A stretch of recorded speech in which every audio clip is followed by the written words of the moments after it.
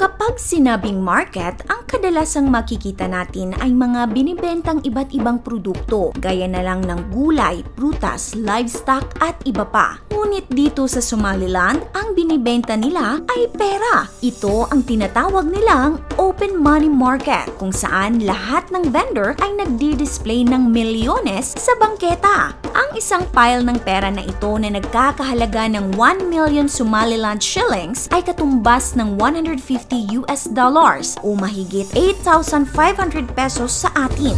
This is 1 million Somaliland shillings, which is equal to 1 $150.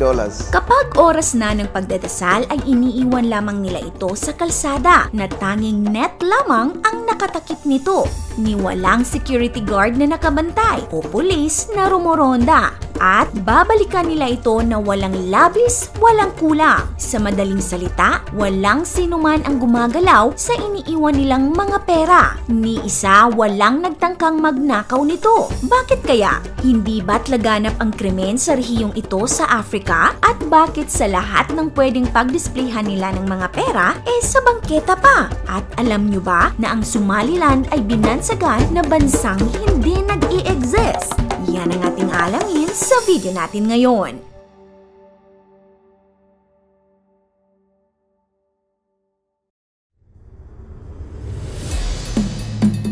Sa Hargeisa City, Somaliland ay matatagpuan ang merkado na kabilaan ang pagbebenta ng pera. Ito ang tinatawag nilang open money market kung saan lahat ng vendor ay nagdi-display ng milyones sa gilid ng kalsada. Dito nagaganap ang kanilang currency exchange. Lahat ng vendor dito ay either nagbebenta o bumibili ng pera. Kung may 1 US dollar ka, maaari mo itong mapalitan ng 8,530 Somaliland shilling. Yan ay ayon sa cb.govsomaliland.org as of November 2022. Gayunpaman, ang halaga ng Somaliland shilling ay paiba-iba depende sa mga nagbibenta nito. Ang isang pile ng pera na ito na nagkakahalaga ng 1 million Somaliland shillings ay katumbas ng 150 US dollars, 8,500 pesos sa atin. Kaya kung magdadala ka ng 10,000 pesos sa Somaliland, tiyak na magiging instant millionaire ka na. Bakit kaya sobrang baba ng halaga ng pera nila? At bakit kaya sa lahat ng lugar, eh sa kalsada pa sila nagbebenta ng milyones na pera? Bago natin yan alamin, nagustuhan niyo po ba ang content natin ngayon? Kung oo, ay mag-comment po kayo ng yes.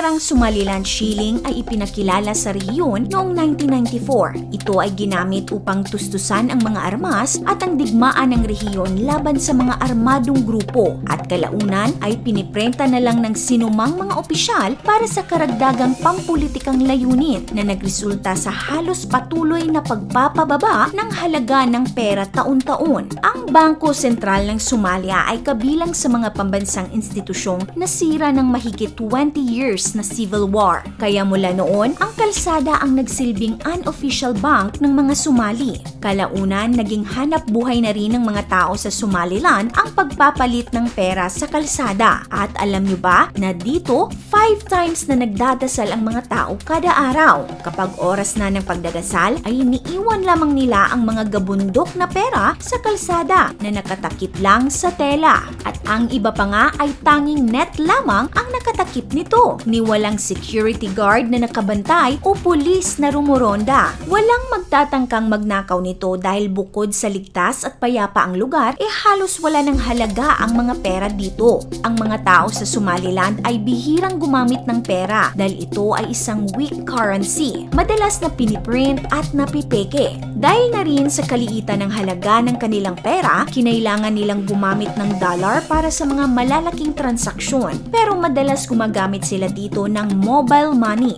Ano ba ang mobile money? Ang mobile money ay hindi nalalayo sa isang bank account. Ang kaibahan lang dito ay nakalink ito sa isang mobile phone. Ang mga user ng mobile money ay maaaring magpadala ng pera sa ibang tao, magbayad ng mga bill at bumili ng maraming bagay. Simpleng pagbukas lang ng account sa isang kumpanya ng telecom at magkakaroon ka na ng mobile money at sa cellphone nang dahil sa walang formal na sistema ng pagbabangko, mababang karunungan at kakulangan sa ATMs, ang mga taga Somaliland ay naaakit sa pagiging simple ng mobile money. Dahil hindi ito nangangailangan ng smartphone o internet access kahit na ang pinakasimpleng mga cellphone ay maaaring gamitin. Kahit saan dito ay may mobile money. Mahahalin tulad ito sa GCash dito sa Pilipinas. Ngunit hindi na kailangan ng app at internet para makapag-access. Para ka lang nagtitext ng amount at isisend mo sa number na padadalhan o pagbabayaran mo gamit ang mobile money cellphone. Ngunit alam nyo ba, ang Somaliland ay hindi itinuturing bilang isang ganap na bansa. Kaya binansagan itong the country that does not officially exist.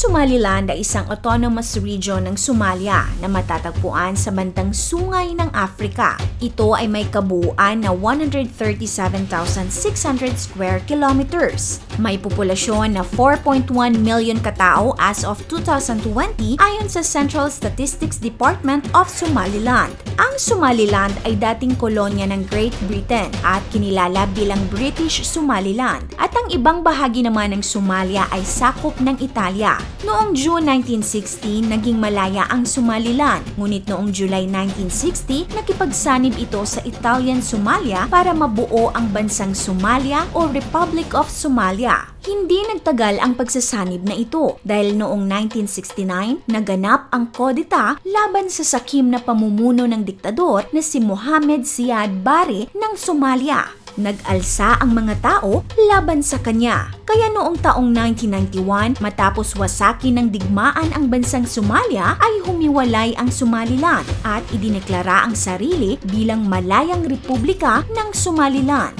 Masasabing ang Somaliland ay isa sa mas matatag at demokratikong lugar sa Afrika. Ito ay may sariling pamamahala sa loob ng mahigit 20 years. Naging payapa at tahimik ang Somaliland. Salungat ito sa kapitbahay nitong Somalia na laganap ang krimen at kaguluhan. Ngunit sa kabila ng pagdedeklara ng Somaliland ng kalayaan mula sa Somalia noong 1991, ang Somaliland ay hindi kailanman kinilala bilang isang soberanong bansa ng sinuman. Kaya binansagan itong the country that does not officially exist. Hanggang ngayon ay patuloy pa rin pinaglalaban ng Somaliland ang pagkilala sa kanila bilang isang bansa. Sa kabila ng hindi pagkilala sa Somaliland, ito ay may sariling pera, sariling militar, naglalabas ng sarili nitong mga pasaporte at nagdaraos ng sarili nitong halalan. Bagaman ang Somaliland ay medyo matatag na rehiyon kumpara sa Somalia, ayon sa world standard, ito ay lubhang mahirap. Ang Somaliland at Somalia ay kabilang sa top 5 na pinakamahirap na bansa sa buong mundo. Ikaw ka-awesome! Gusto mo bang bumisita sa Somaliland at makita ang milyon-milyong pera na nakadisplay sa bangketa? Pakilagay ang inyong sagot at opinion sa comment section. This is your Ate O from Our Republic. Hanggang sa muli and Wednesday awesome.